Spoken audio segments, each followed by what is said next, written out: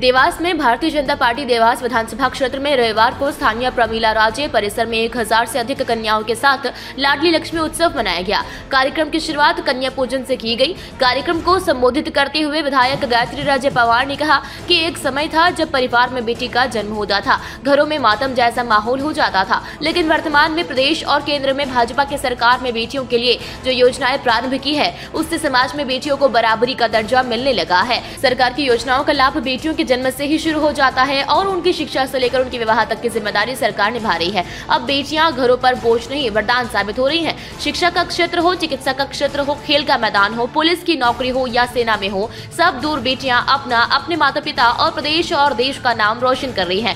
कार्यक्रम में उपस्थित भाजपा महिला मोर्चा के प्रदेश उपाध्यक्ष सीमा सिंह ने कहा कि अब बेटियाँ वर्तमान समय में सुरक्षित हैं और बेटियाँ अब लगातार आगे बढ़ रही हैं। मुख्यमंत्री शिवराज सिंह चौहान ने कहा है कि लाडली लक्ष्मी योजना दो के अंतर्गत अब बेटियों को डॉक्टर, इंजीनियर बनने के लिए भी शिक्षा का खर्च सरकार उठाएगी। बेटियों की पढ़ाई का बोझ अब माता पिता पर नहीं रहेगा। उन्होंने कहा कि यदि सुरक्षा की बात की जाए तो प्रदेश की सरकार ने कड़े कानून बनाए हैं और बेटियों पर अन्याय, अत्याचार करने वालों को कठोर रूप से दंडित किया जा रहा है।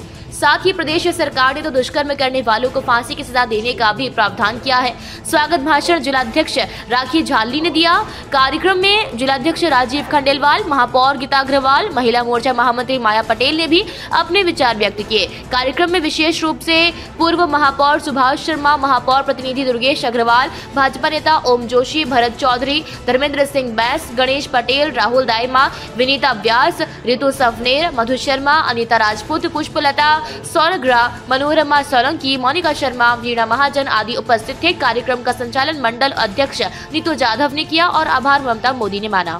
अमेरी देवास विधानसभा से आज तीनों मंडल से हमारी महिला मोर्चा ने लाडली लक्ष्मी का आयोजन किया था, सम्मेलन का।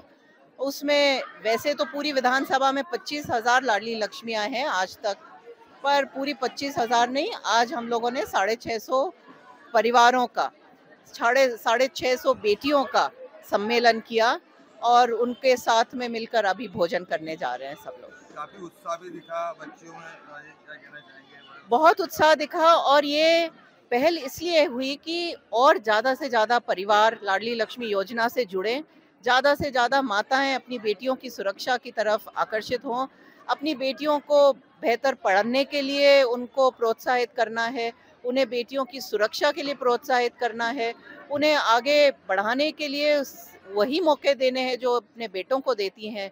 इस विचारधारा को आगे बढ़ाने के लिए ये लाडली लक्ष्मी योजना का सम्मेलन हम लोगों ने रखा था। देवास से ब्यूरो चीफ अभिषेक सोनी की रिपोर्ट।